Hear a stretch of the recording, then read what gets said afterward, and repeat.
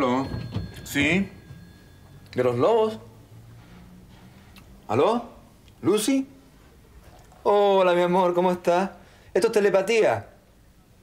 No, quiero decir que estaba pensando en llamarla también. Sí. ¿Quiere venir? Pero inmediatamente, si quiere. Ah, ¿no hay buses en la noche? ¿Ninguno? Bueno, pero mañana temprano, entonces. No, yo conozco a los monos de goma, son muy perezosos. Sí. Sí. En el terminal a las 12. Bueno, yo te voy a estar esperando. ¿De acuerdo? Yo también te quiero. Ya. Un beso grande, grande, grande. Sí. Chao.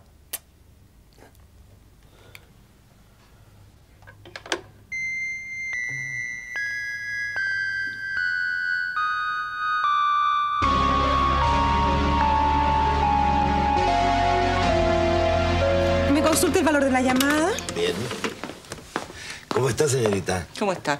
Quiero una habitación con baño privado, por favor. Sí, anote sus datos, por favor. ¿Cómo no? El valor de la llamada, por favor. Un momento. ¿Cómo le va, pues, señora? ¿Se acuerda de mí? Necesita, ¿Me da el valor de la llamada, Santiago, por favor? Sí. Creo que Patricio nos presentó, ¿no? Ah, claro. ¿Y vino solita ahora? Sí. ¿Y por muchos días? No sé, depende. Tengo que hacer unas diligencias acá. Y gracias. Son 300 pesos. Ahí está. Mi habitación es la 305. Eh, ¿Trae equipaje? Sí. Hágamelo subir, por favor. Está en el auto. Bien. Hasta luego. Hasta luego, señora. Y gusto de tenerla por aquí en Los Lobos, pues.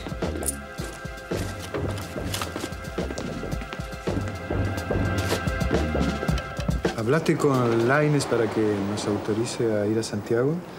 No, no encontré que era el momento adecuado como para hacerlo. El compadre de, de don Emiliano me está esperando. No me gustaría perder esta oportunidad. Bueno, pero tú le explicaste la necesidad de tener tus documentos. Sí, claro, pero él pareció no darle mayor importancia. ¿Cuál será la razón? Él teme que pueda huir y ya no tenga dónde ubicarme. Pero eso es absurdo, Esteban. Si tú tuvieras motivos para querer huir, podrías hacerlo desde aquí. Desobedecerle significaría autoconfesarme culpable. En cambio, Santiago me puedo perder. Él eh, se demoraría mucho en encontrarme. ¿A ti te preocupa la posibilidad de nuevos interrogatorios? No, no, de ningún modo. Pero insisto en que debemos conseguir esa autorización para abandonar los lobos mañana mismo. No debemos dejar que arruinen nuestros planes. No te preocupes, mi amor. Nadie va a impedir que nos casemos.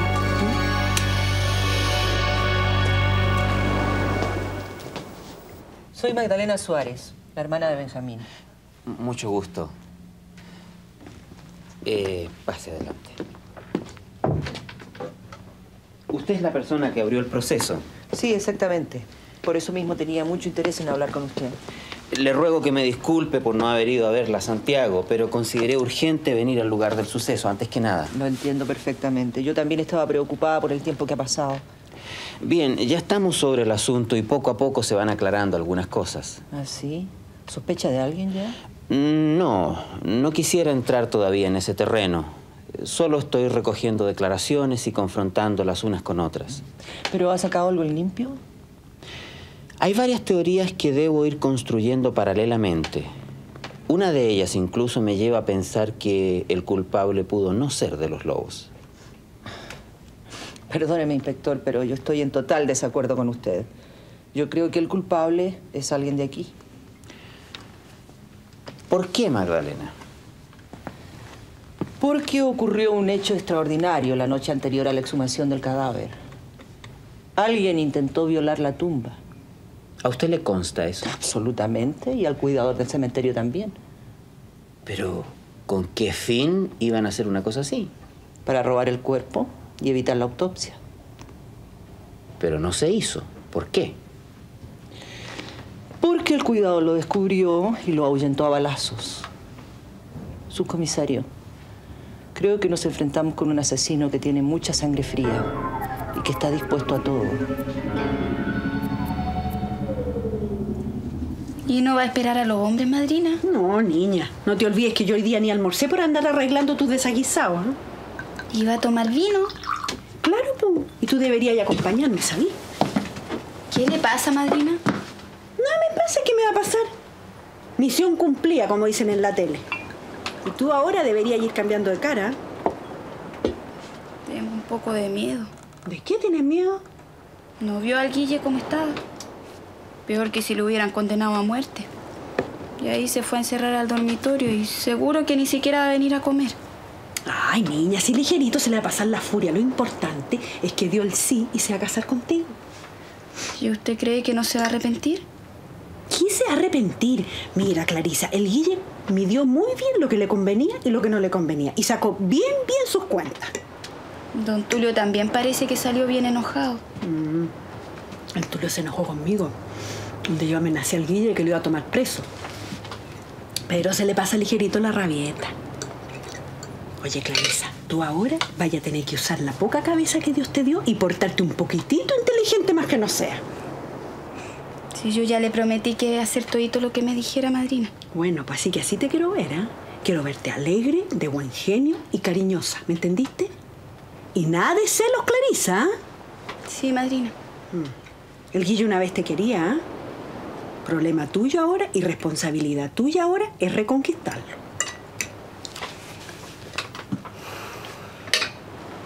¿Quién sabía que usted pensaba exhumar el cadáver al día siguiente? Todos, me imagino. En un pueblo chico las noticias corren rápido, ¿no? ¿Usted no lo había conversado con nadie? Con Ignacia. Ella se lo puede haber contado al buzo con el que convive y este a sus amigos de la caleta. Sí, es muy posible. Sin embargo, yo tengo una pista que creo le puede servir. A ver. Apareció un lápiz al lado de la tumba. Supongo que se le cayó a la persona que intentó violarla. Yo le pedí al cuidador del cementerio que lo guardara por si servía. Hizo usted muy bien, Magdalena. Mañana mismo iré a darme una vuelta por allá. Dígame, ¿sospecha usted de alguien en particular? No. No. Sin embargo, la actitud del doctor Marambio me parece inexplicable. ¿Por qué? No sé. Tanto él como ese uso me causan una total desconfianza. Ah, sí, pero ¿por qué, Magdalena? Porque ambos pretendían a Ignacia antes de que ella enviudara. ¿También el doctor? Sí. Benjamín me lo contó. Parece ser que su hermano no era un hombre extremadamente celoso, o bien no se preocupaba demasiado de lo que hiciera su mujer. Se equivoca, subcomisario. Lo que pasa es que Benjamín era una persona que creía en la gente.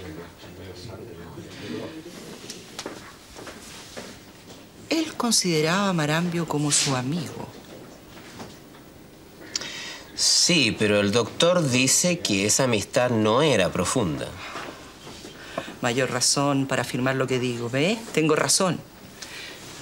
¿Por qué un hombre culto como el doctor Marambio, médico, iba a negar su amistad con Benjamín? Benjamín era una persona querida y respetada por todos.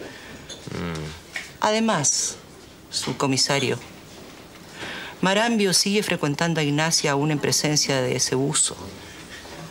Ahí hay algo muy turbio. Muy turbio.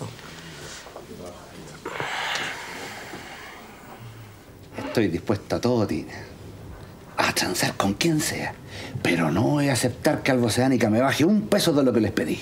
¿Y no te da miedo que después desistan y no quieran comprar? No. Yo estoy seguro de lo que hago. ¿Sabes a quién le aprendí? ¿A quién? A Benjamín Suárez. Él me enseñó. Siempre me decía, cuando hagas grandes negocios, hay que pedir harto. Y si fijas un precio, no te muevas jamás. ¿Así de fácil? Claro, porque si tú te bajas, después se aprovechan. En cambio, si te ven firme, se dan cuenta al tiro que no les queda otro camino que pagar. Ojalá que te resulte, pues, Manolo. No creo que el Flores ese se eche para atrás. Benjamín además me dijo lo importante que era para algo oceánica la concesión. Qué agradable es tener alguna vez la sartén por el mango. ¿Cerremos? Ah, Manolo, el Beto te trajo esta carta. ¿Una cuenta? No sé, no la leí.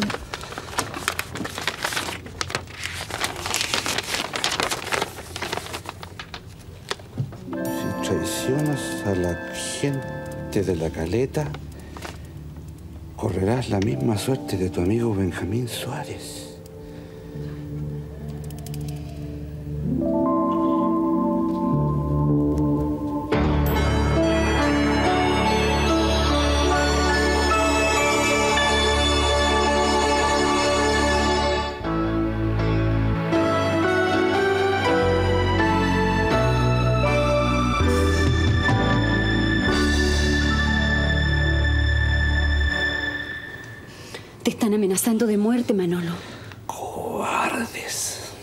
Sería capaz de una cosa así?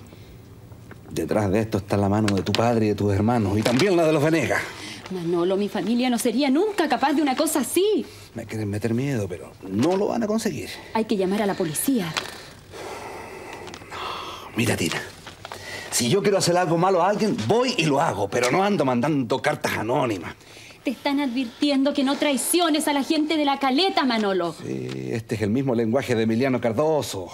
Tú no puedes pensar así de mi papá, oye. Puede que no sea él, pero él influye, influye para que pase esto.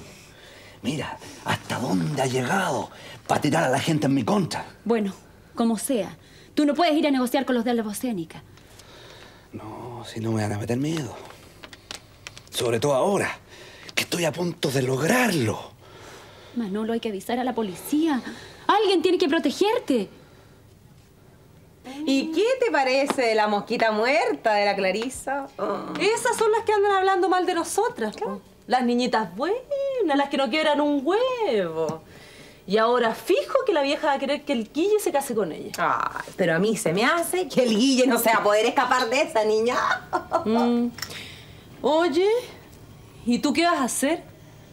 Ay, yo me voy a ir a Santiago para olvidarme de este asunto, negra, no. Yo no quiero estos líos. Bueno, pero tú te vas a ir a Santiago por unos días. Después vas a volver y entonces. Entonces me encontrar- da lo mismo lo que pasa entonces, ¿sabes? Oye, ni por amor propio te da rabia que el Guille se case con esa flaca. Mira, Dori, a mí no me interesa andarle quitando el padre de un hijo a ni una mujer, ¿sabes? No. ¿Tú pensarías lo mismo si no existiera el Patricio? La verdad es que el Patricio es lo que más me importa, negra. Pero independiente del sabí, estoy hasta aquí con el Guille. Y que esa vieja hereduria se venga a meter aquí y se crea que está en el patio de su casa. Oye, menos mal que no se ha encontrado con la norma. Ah, no, y eso es lo que más me tiene preocupada. Porque ya la norma dijo que no quería más escandaletas. Y se me ocurre que este asunto no le gustaría pana. Te digo una cosa, Neira. Ándate a Santiago y pásalo bien. Y deja que al Guille lo amarren con esa tonta de la Clarisa. Se lo merece por chueco. Eso.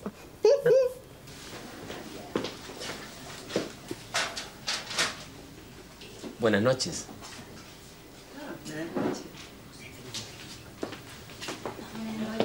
Es una mujer muy hermosa, ¿no? Sí. ¿De dónde salió? Vino directamente de Estados Unidos. ¿A los lobos? ¿Y hacer qué? Excavaciones. Ay, qué cosa tan rara me está contando Mauricio. Es lo mismo que ella me contó a mí y no hay razones para no creerle.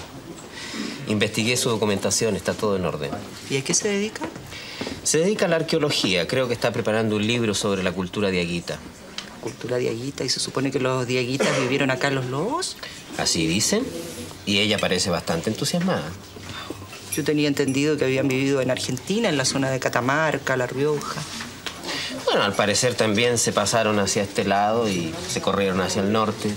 Magdalena, tengo que reconocer que yo sé muy poco de esas cosas. Pero se han encontrado cacharros de greda, cuchillos, todo ese tipo de utensilios que corresponden a esa cultura.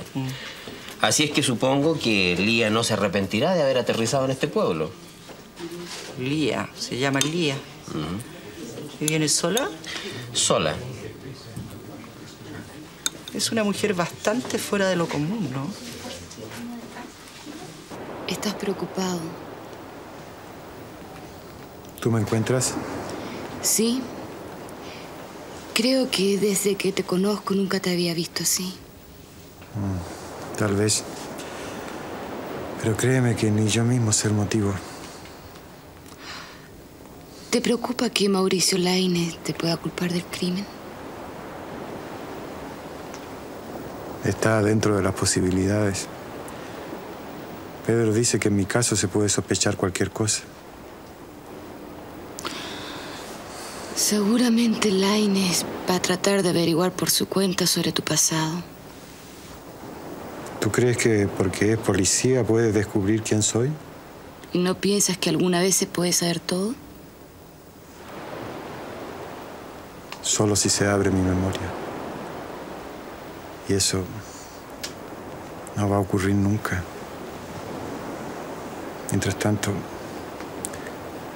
se puede creer todo lo imaginable acerca de mí. Pero no que eres un asesino. Yo supongo que Laines debe estar barajando muchos nombres. ¿Y tú? ¿Barajas alguno? No, no sospecho de nadie conocido. ¿Tú sí?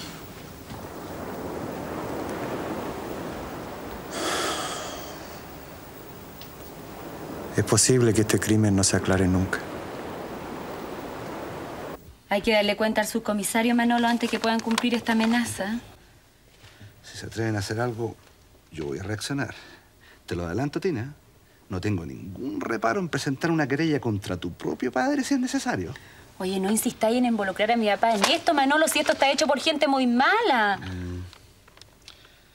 Si traicionas a la gente de la caleta, correrás la misma suerte de tu amigo Benjamín Suárez. Son los mismos que mataron a don Benjamín. ¿Pero por qué hablan de traición si yo no vivo en la caleta? Yo no buceo, ni pesco, ni vivo del mar. ¿Qué tengo yo que ver con todos ellos? Yo voy a hablar con mi familia. Te lo prohíbo, Tina. Voy a hablar con ellos. Te aseguro que se van a preocupar de averiguar quién fue el que mandó eso y capacito que hasta lo denuncien. No seas ilusa, Tina. Se van a reír a carcajadas cuando sepan que la carta te surtió efecto. Bueno, ¿y qué pensáis hacer? ¿Quedarte así nomás? Voy a hablar con el subcomisario. ¿Vaya a salir ahora? Sí, ahora. ¿Cómo vaya a salir ahora, Manolo, si es de noche? Oye, Tina, ¿en qué quedamos? Me has pedido como 100 veces que vaya a hablar con la policía. Y cuando me decido, dices que no vaya. Es que me da miedo que vaya ahora, po. No hay de qué temer. Si el camino al Gran Hotel está bien iluminado. No se te había ocurrido pasar por la caleta. ¿Tú crees que soy estúpido? Oye, ¿te das cuenta lo que estás diciendo? Estás reconociendo que de allá viene el peligro. Manolo, Manolo, no vais mejor, Manolo.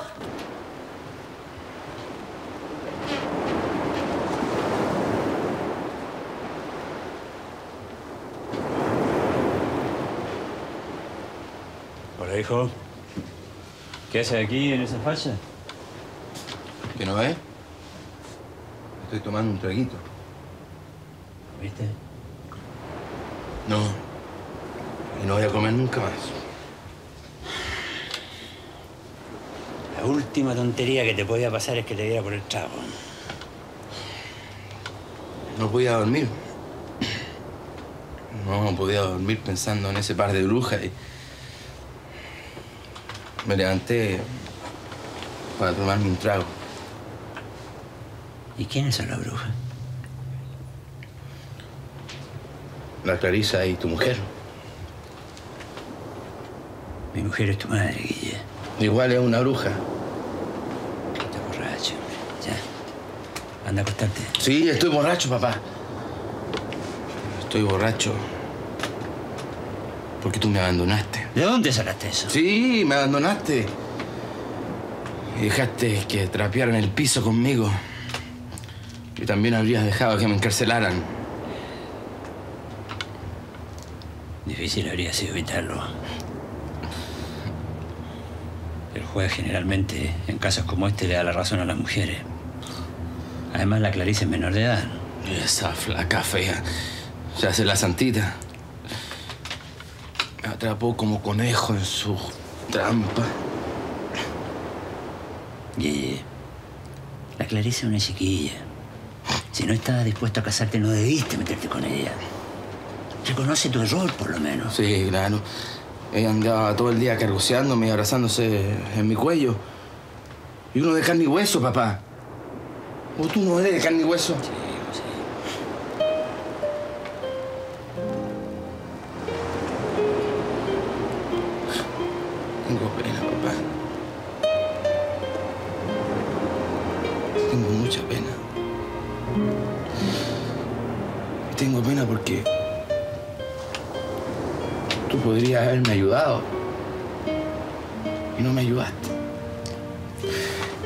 Papá, eres lo más importante para mí en esta vida. Yo no te voy a abandonar nunca, Guille. Ten confianza. Vas a ver cómo las cosas se van arreglando de a poco. No, ya nada se va a arreglar, papá. La Lucy no va a querer ni mirarme cuando sepa que me voy a tener que casar obligado. No, la Lucy va a entender que no pudiste hacer otra cosa. Además, cuando nazca tu hijo, vas a verlo todo en forma distinta. Ese niño. Pobre guau.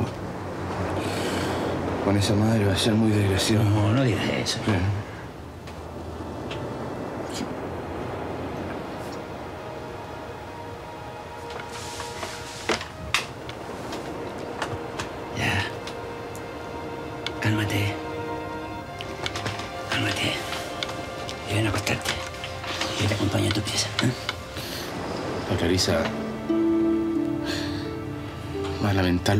Durante toda su vida.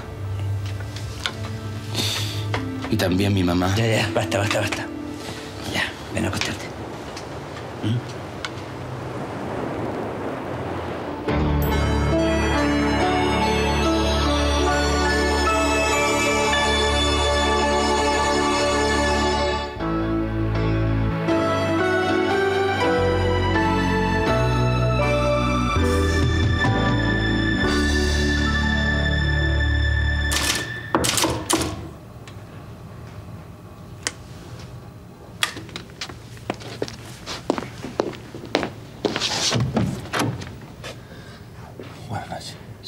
terapia.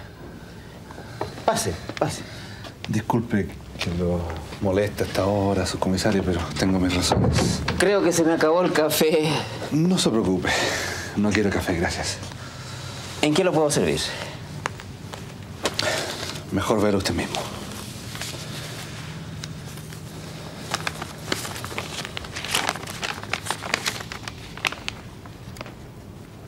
¿Cuándo recibió esto?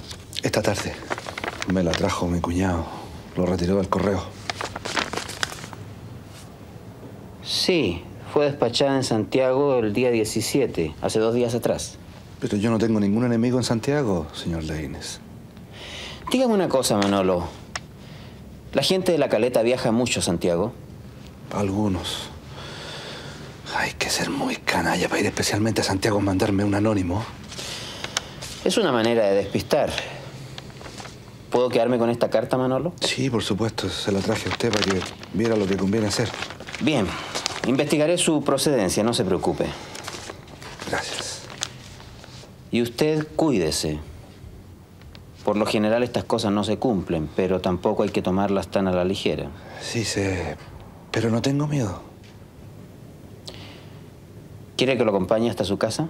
No, gracias. No se moleste. Es muy cerca. Además, no creo que alguien se vaya a atrever en plena calle principal a atacarme. Bien. Mañana me gustaría que conversáramos más a fondo sobre el problema de la concesión. Quiero saber exactamente a las personas que involucra. No hay problema. Yo puedo darle todos los datos. Me serán muy útiles. Buenas noches. Muchas gracias. Buenas noches, Manolo.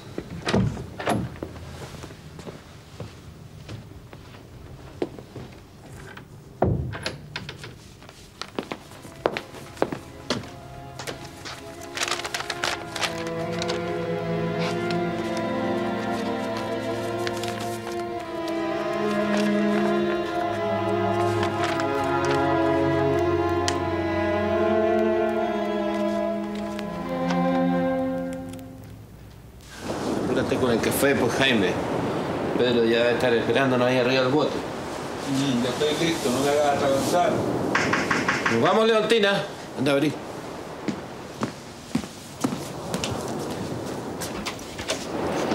Buenos días. ¿Vive aquí don Emiliano Cardoso? Sí.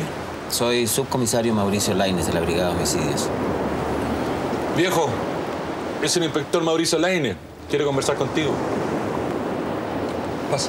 Permiso. Buenos días, señor Cardoso. El mismo. Buenos días. Qué bueno que lo encuentro en la casa. Me han informado que usted es un hombre que sale muy temprano a trabajar. Así es. En este preciso instante me estaba yendo. Le voy a pedir que me dedique algo de tiempo. Usted y yo debemos conversar. Podría ser más tarde. Mi otro hijo está en la caleta esperándonos para salir a alta mar. Es cierto, inspector. Ya estamos un poco atrasados también. Usted puede ir tranquilamente. Por ahora me bastará lo que pueda decirme su padre. Está bien. Ándale, tú no vas a trabajar con Pedro. Yo veré a ver si los alcanzo después en otro bote, cuando me desocupe. De acuerdo.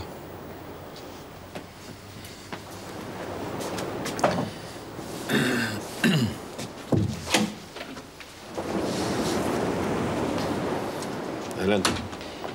Muchas gracias.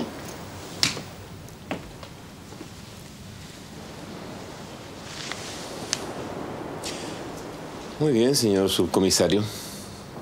Aquí me tiene. ¿En qué puedo serle útil? Mi problema, señor Cardoso, es uno solo. Necesito saber quién asesinó a Benjamín Suárez.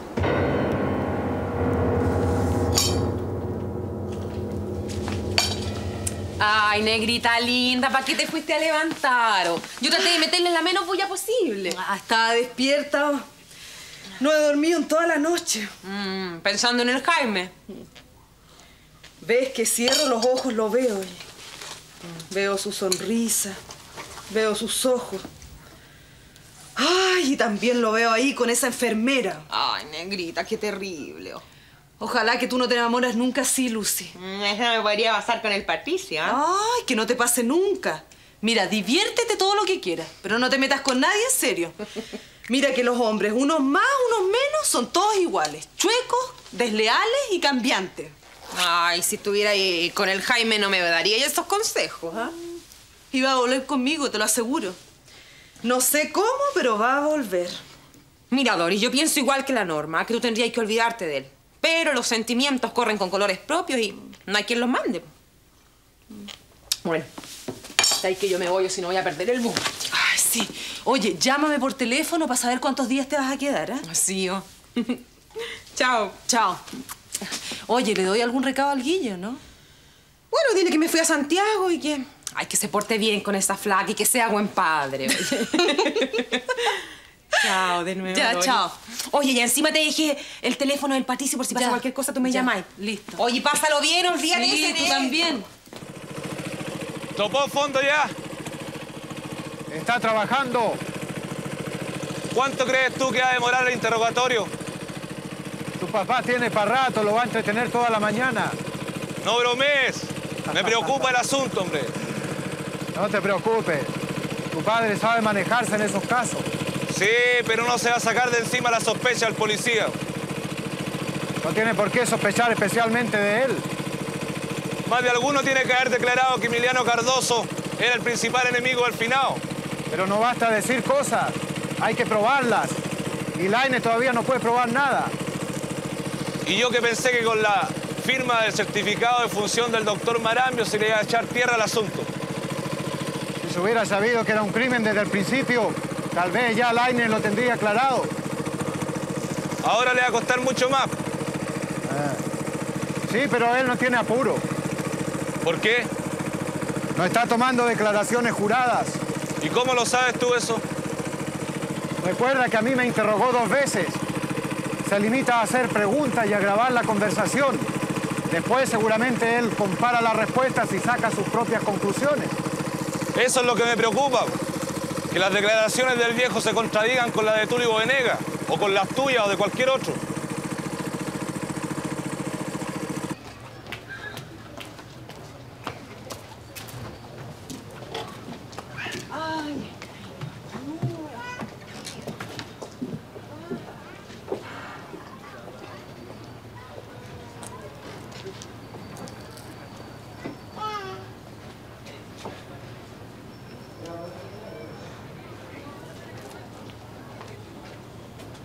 Yo estoy seguro que esto es una broma, Doris, y que la luz está escondida ya en su pieza. Ay, Guille, yo no tengo tiempo ni ganas de hacer broma. Bueno, y ella se fue sin ni siquiera despedirse de mí. Bueno, ¿y qué querías? ¿Que se fuera a despedir a tu casa? ¿Para que después tu mamá o tu futura señora la echaran? No digas eso, Doris. ¿Acaso no es cierto que te vas a casar con la Clarisa? Mira, si tengo que hacer eso, la Lucy sabe que solo la quiero a ella. Bueno, lástima, pues. A mi hermana no le interesan los hombres casados. Pero ella ayer no estaba tan enojada. Bueno, hoy día tampoco. Dijo que quería que fueras un buen padre y que te casaras y que te fuera muy bien en todo. ¿Y allá Santiago, en la casa de quién va a estar? Bueno, eso no es asunto tuyo. ¿Y cuánto tiempo se va a quedar? Ay, depende de cómo lo esté pasando. Si lo está pasando bien, se va a quedar más días y si no, va a volver luego. Ah, no, yo tengo que ir a verla, Doris. No cuentes conmigo, Guille. Entonces voy a hablar con la Norma. Mm, No te lo aconsejo. La norma no te va a tratar muy bien.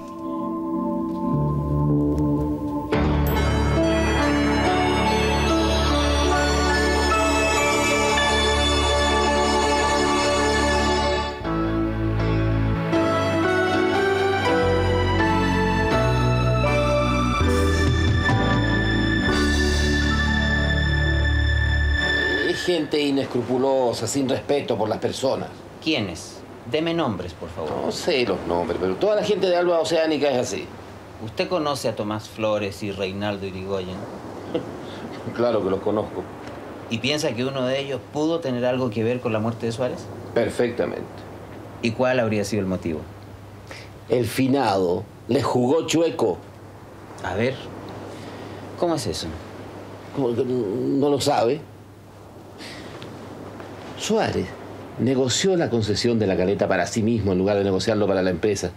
¿Usted cree que le pueden perdonar una cosa así? ¿Y no piensa usted que podrían haber actuado de común acuerdo? Acuerdo, ¿no? No, creo. O sí, si esa gente es capaz de cualquier cosa. O sea que usted no conoce muy bien esa historia. Yo conozco perfectamente la historia, ¿no? Hay que, eh, mi yerno está metido en el asunto. Él hacía yunta con Suárez, sin importarle si nosotros nos íbamos a la ruina. Sí, algo de eso he conversado con Manolo Tapia. Miren, ni me lo nombre, hago el que me hierve la sangre. Y yo prefiero que hablemos de Benjamín Suárez. le dije todo lo que sé. ¿Qué más quiere saber? ¿Cuándo fue la última vez que usted lo vio con vida? ¿Cómo está, Cardoso? buenas noches, señor Suárez. ¿Qué dice? Aquí estoy tomando un poco de aire. El farolito está lleno de humo. ¿Qué le echa una mirada al ambiente? Demasiado denso para mí. ¿Tomás Flores está adentro? ¿Lo vio usted? ¿Su gerente? No. No, no lo he visto. De diablo se me metió este gallo. Si usted no lo sabe, pues, señor Suárez. Voy a ver dónde lo encuentro. Buenas noches, Cardoso. Señor Suárez. ¿Por qué no se da una vuelta por la caleta? Puede que le vaya bien. ¿La caleta? ¿Y qué puede estar haciendo Tomás Flores allá? Bueno, desde que Alba Oceánica se considera dueña de la caleta, el señor Flores suele darse una vuelta por sus dominios a las horas más extrañas.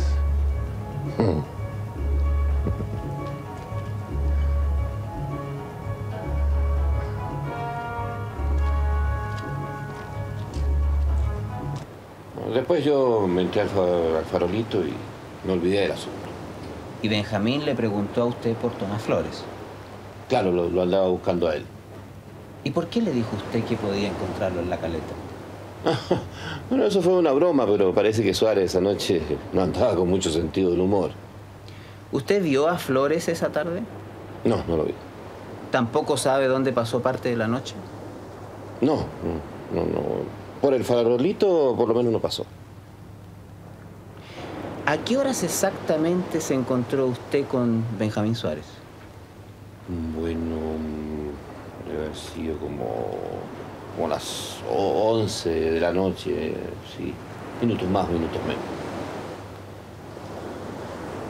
Qué raro. A esa hora Tomás Flores estaba durmiendo. Hay gente que tiene el sueño muy liviano. Y hay otros que son sonámbulos. Bien. Le agradezco mucho su información, señor Cardoso. ¿Cómo ya se va? Ah, pensé que íbamos a seguir conversando. E incluso había pensado que se quedara a almorzar con nosotros. Muchas gracias. Podríamos dejarlo para otra ocasión. Pero ahora tengo que ir al cementerio.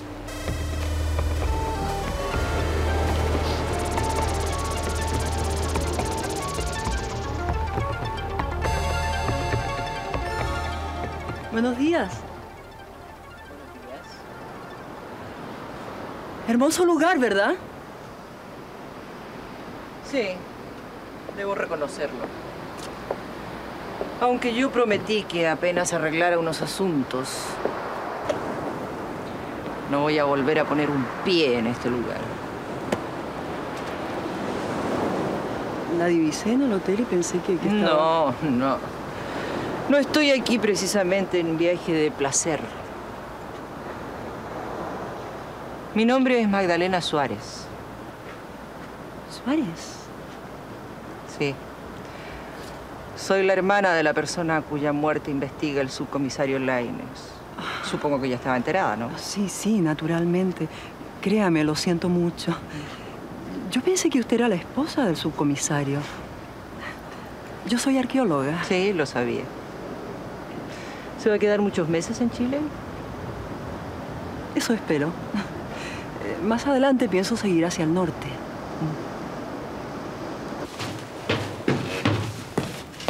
¿Qué pasaste, Clarisa, por Dios? Oye, hora y media para esas poquitas compras. Es que le traje todo, madrina. Hasta la carne para la carbonada.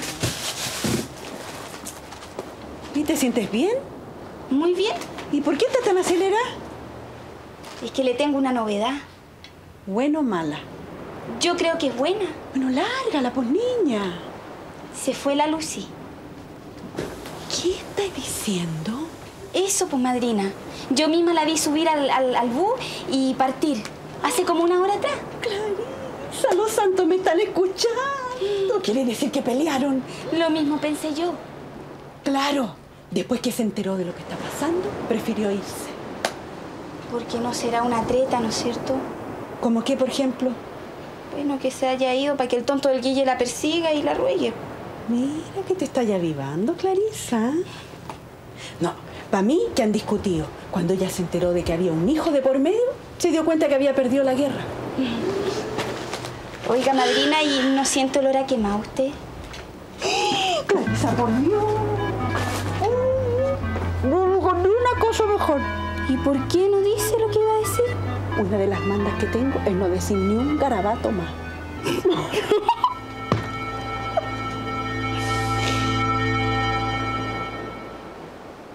Dígame, Magdalena, ¿conoce a ese hombre?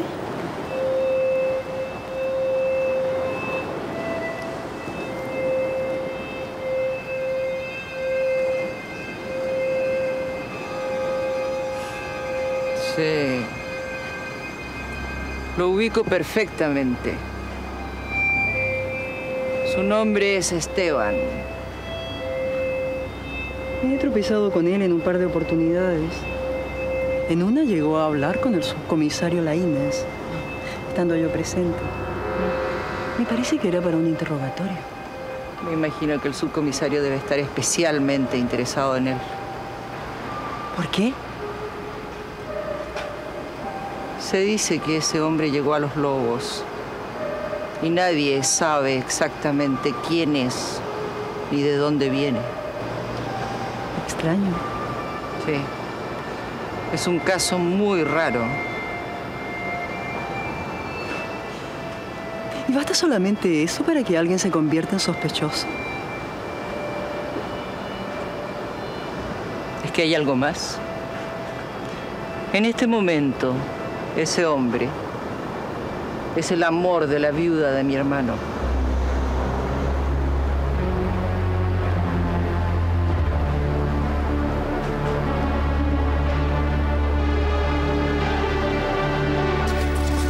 ¿Qué quieres, niño? ¿Qué es esto? Un recado para don Manolo. Ah, ya. Gracias. Espérate. Trajeron esto para ti, Manolo. ¿Un recado?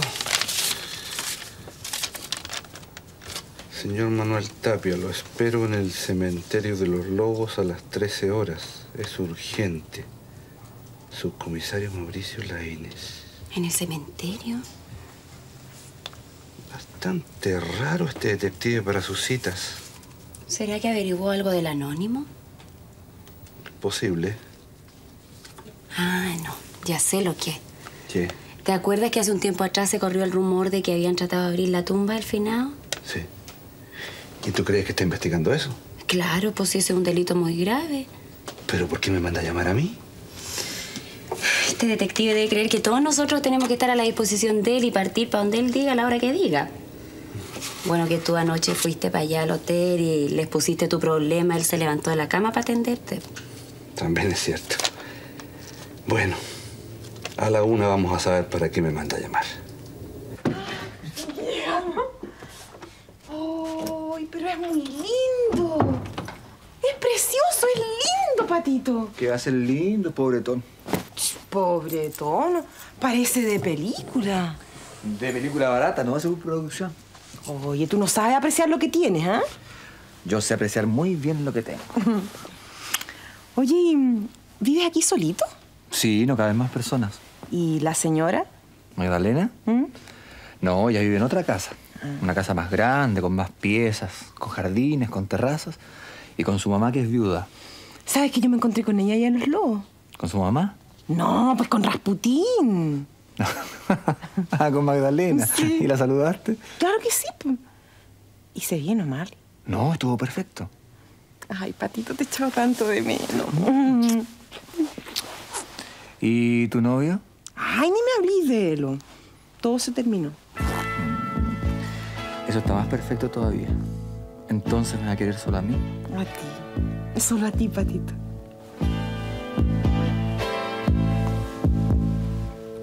¿Ocurre con frecuencia que se metan extraños aquí al cementerio? No, señor policía, muy rara vez. Porque ellos saben que yo aquí los recibo a balazo. ¿Nunca se meten a robar tampoco? Sí, pero cosas chicas. A veces desaparece algún crucifijo o algún jarro bonito que ellos creen que pueda ser de plata. Bueno, pero eso pasa por lo general de día. Además, es tan re fácil poder esconder un objeto en un bolso. Y usted comprenderá que yo no voy a estar todo el tiempo pidiéndole el bolso a las personas para mirar qué es lo que llevan dentro. Claro que no. Y dígame, ¿por dónde se metió el extraño esa noche? Mire, para mí que se dejó caer de ese muro vaca. Se vino directamente hacia aquí sin hacer ruido. ¿Y usted cómo lo escuchó? Bueno, de repente este gallo tropezó con esos tarros, con unos tarros que habían ahí. Y yo cuando sentí el ruido que hice, entonces eh, tomé mi escopeta y salí a mirar. ¿Lo vio? Bueno, al comienzo no, ¿ah? pero después cuando distinguí la figura que se iba alejando, disparé al aire para que se detuviera. ¿Pudo reconocerlo? No, porque sabe que estábamos bastante retirados uno del otro. Eh, se me escabulló por aquí al lado, antes que yo le llenara el cuerpo con perdigones. Y dígame, ¿no puede darme otra referencia de ese sujeto? No, porque este gallo iba con una manta oscura, así, y ya así es muy difícil poder distinguir a alguien. Una manta. ¿Quién usa manta aquí en Los Lobos? Aquí casi todos los gallos andan con manta, todos tienen manta porque los protege del helayo, de la garúa. Yo mismo a veces me pongo una manta cuando hace mucho frío y pienso que va a haber lluvia. Y dígame una cosa. ¿Qué cree usted que pretendía ese sujeto aquí en el cementerio? Bueno, a lo mejor sabía que el hombre era una persona de fortuna pues, y pensó que podía robar alguna medalla o algo así. Porque muchos creen que a los finales los entierran cargados con objetos valiosos. Y eso es lo que los hace venir a meterse aquí.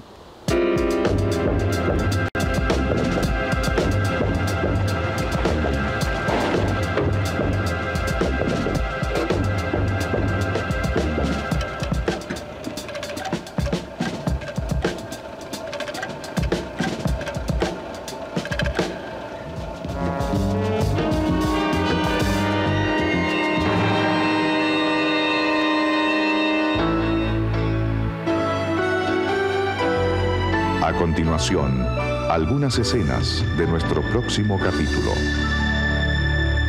Bueno, pero no seas ingrato, negro. Anda a verme de repente. ¿Ah? Y pueden ir en la tarde que no va casi nadie y se van a tomar un aperitivo juntito. Señorita, acérqueme el expediente de Ramírez Collañez, por favor. Ah, aquí está, señor jurisconsulto. Es usted una secretaria muy eficiente, señorita Lucia. Em, ¿Podría sentarme en sus rodillas, señor Lucía? Ya no te conformas con tener ahí la fotografía del Jaime. No, ahora quieres tenerlos a los dos para no olvidarte ni un momento de todo lo que se quieren. Ah, rompe esta lecera. ¡Ay, dámela! Me va a servir mucho más de lo que tú te imaginas.